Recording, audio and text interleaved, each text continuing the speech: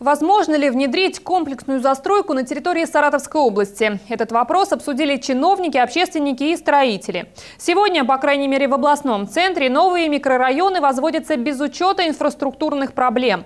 В итоге при заселении квартир оказывается, что людям не хватает поликлиник, детских садов и парковок. Общественники предлагают использовать опыт других регионов, к примеру, Москвы, где объекты инфраструктуры возводятся за счет застройщика, но ему при этом предоставляют под них земельные участки.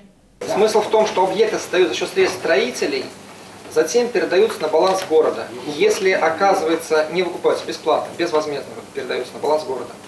Если оказывается, что у строителя отсутствует земля для постройки детского садика, парковочных мест, то этот строитель имеет преимущественное право на получение земельных участков рядом, если градостроительной комиссии города Москвы будет признано, что значит, объект там нужен и должен быть создан. По стопам Москвы в разных вариациях уже пошли Самарская, Ленинградская, Воронежская области. Но в Саратове такая инициатива приживется вряд ли, считают строители. Ведь бюджет региона не сравним с московским, и никакой подрядчик не возьмется за организацию инфраструктуры, если при этом не будет значительно увеличена стоимость квадратного метра.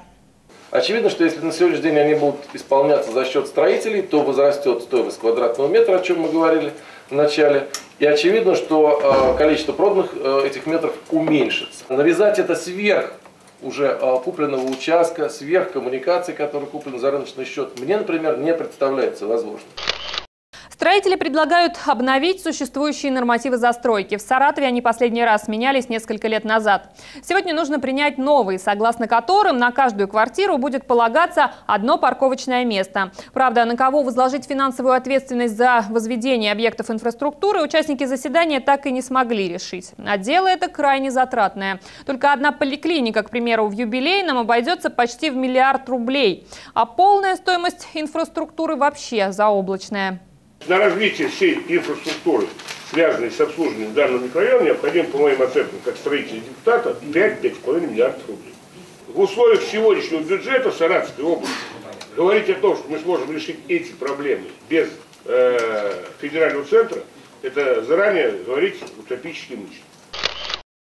Вопросы инфраструктуры новых микрорайонов чиновники обсуждают уже несколько лет, но к конкретным решениям так и не пришли. В то же время уже сегодня чувствуется напряженность в микрорайонах, где не хватает парковок и поликлиник, а еще через несколько лет это может обернуться более серьезными проблемами.